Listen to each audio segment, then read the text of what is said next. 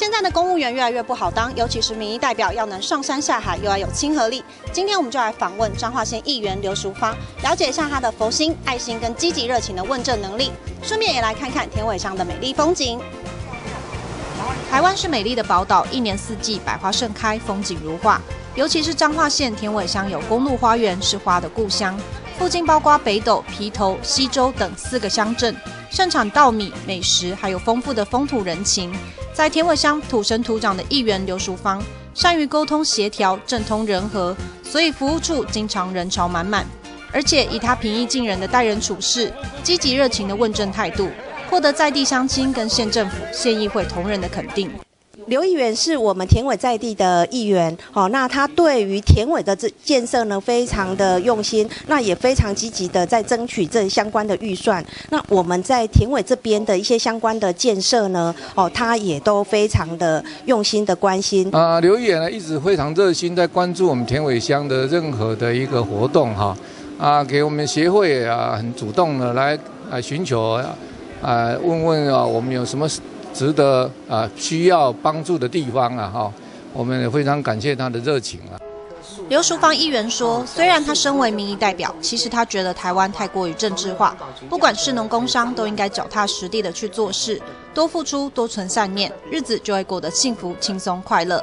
就是刘淑芳议员有这么乐天慈悲的胸怀，所以他连任了田尾乡长跟彰化县议员的职务，在地方上，大家都把他当成是最亲切的大姐。我只下就跟你讲吼，我感觉讲咱都无头，人给咱找这个头，咱就爱认真做，你知道？所以我就今天我就。整个心思都放在田尾哈这一块土地上，我觉得我们诶一张票一事情呢，你会觉得说，哎，我要用什么方法来回馈地方？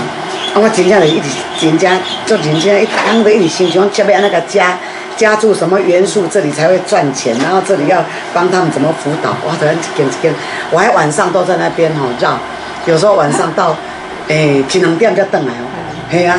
所以我怎拢请无司机，就是安尼，司机拢伤忝的啦。所以阮的司机若出去啊，他们讲，啊，你还搁咧甲开哦，你还袂换哦，真正足注意啊。所以我们田尾的一个啊花卉啊，整个啊这个生产到行销的过程，他是最了解的。嗯。啊，简单讲，跟我们啊业者啊是最亲近。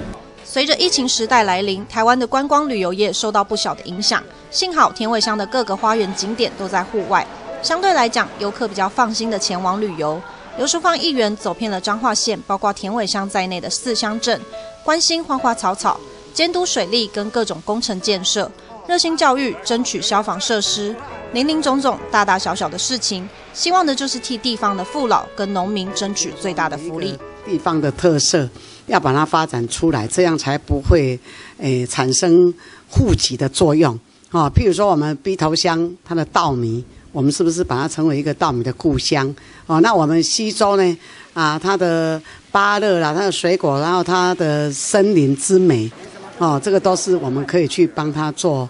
啊，现在有一个诶那个苗木专区，哦，啊，我们的花在彰化，哦，也都在那里办理，它也。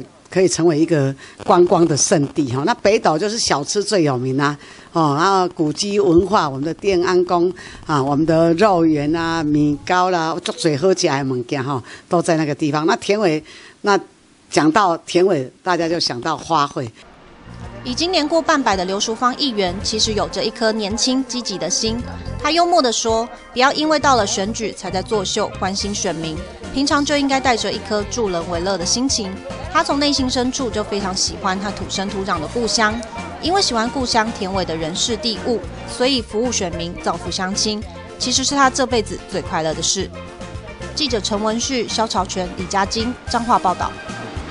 来到这里，心情就会很好，对不对？